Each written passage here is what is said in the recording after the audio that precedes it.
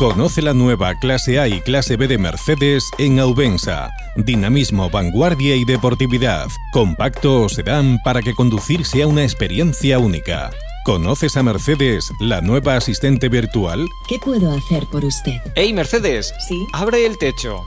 Estoy abriendo la persiana del techo corredizo. ¡Hey, Mercedes! Cambia la luz de ambiente a azul. Estoy cambiando el color. ¿Quieres ver más de los nuevos Mercedes? Visítanos en Muelle de Poniente sin número. Teléfono 956 52 20 17. Ceuta.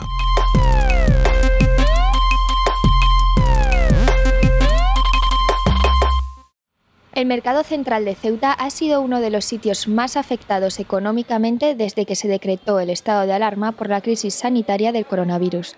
Además, a esto se le suma el problema que arrastran desde enero los pescaderos por el bloqueo fronterizo de Marruecos.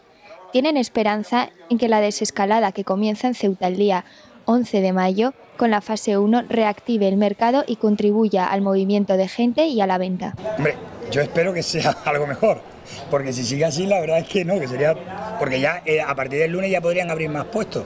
Todos los, todos los puestos de ropa y eso ya podrían abrir, que ya habrían más puestos abiertos. Me imagino que harán algo con esto de la distancia de seguridad. Esperemos que sí, que poco a poco todo vuelva a la normalidad y que haya más afluencia de gente en el mercado. También se están abriendo más puestos que antes estaban cerrados la mayoría y cada vez hay más variedad y, y demás. Ahí ahora empieza a venir la gente y eso, antes la plaza está, parece como un túnel. Todo está, los luces, todo están parados y eso, y ahora está bien, gracias a Dios está empezando la, la gente a salir, esto está mejorando la cosa.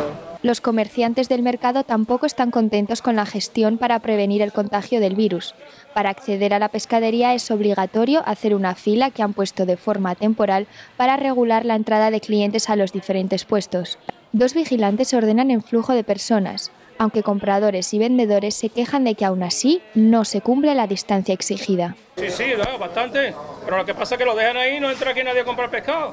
El, este mercado estaba acabado, muerto totalmente. Lo queremos levantar entre todos, pero no veas, corrolan a la gente ahí y aquí no viene nadie. Ya tenemos que cerrar todos puestos otra vez. Viene pescado de Marruecos, ¿veis? Viene pescado de Marruecos hasta Ceuta. Hacemos todo lo posible por traer pescado, pero al final aquí no van a echar aquí todo. Hay que soltar gente, la gente es una fila tremenda de, personas ahí para entrar aquí. Hay pescado de todas clases. Que venga la gente a comprar, pero no dejan de entrar. Aquí en Mercado Central, como es famoso por el pescado, no dejan de entrar. Tiene que bañar la superficie grande. Y la gente le gusta el pescado fresco. Otra cosa ya, que nos tienen ya nerviosos perdidos ya. No sé qué hacer, o cerrar otra vez y nos vamos alerta y se acabó. La versión de falta de gente en el mercado lo corroboran los compradores. Por miedo e inseguridad han dejado de venir durante el tiempo de confinamiento. Hay diversidad de opiniones, incluso alguno no está de acuerdo con que el lunes pasemos a la fase 1. Estaba todo hasta hace dos días estaba en, en, casa el, el, confinamiento, por lo tanto no he salido. Nada más que un día al médico y aquí hoy al, al, mercado. Pues mira, yo teniendo conocimiento de causa, veo que aquí en Ceuta todavía hay algunos casos, por lo tanto tenía que haberse vigilado un poquito más. Yo creo que sí, porque la, yo me he dado cuenta que hay gente que parece que no está pasando nada, los veo muy relajados, gente que va paseando en grupo, por la calle en grupo de 5, 6, 7 personas, charlando. Parece como si ya hubiese pasado todo esto y esto, como dice, acaba de empezar. El lunes, Ceuta entra en la fase 1 de desescalada.